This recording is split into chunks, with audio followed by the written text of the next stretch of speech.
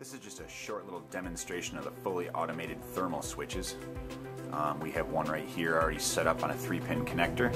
We just got a little setup here connected right to a fan, to a direct power source, and then a temperature probe. Right now we're currently reading 22.4 Celsius. And this is the 40 degree Celsius version, so we should be looking at turning on at 40 degrees and then shutting back off at 27 let's give it some heat.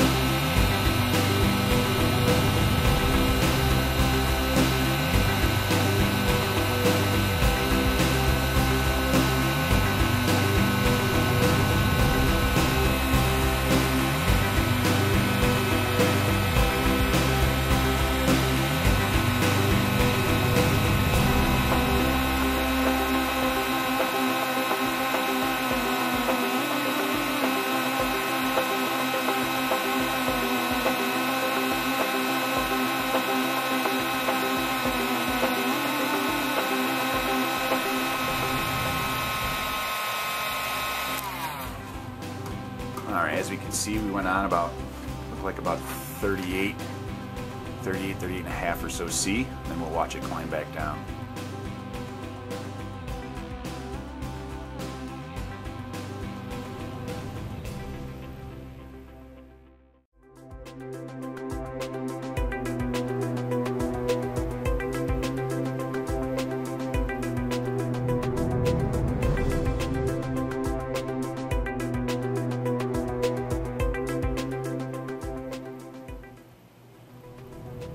There we go, we got to shut off at 26.5, well within the tolerances.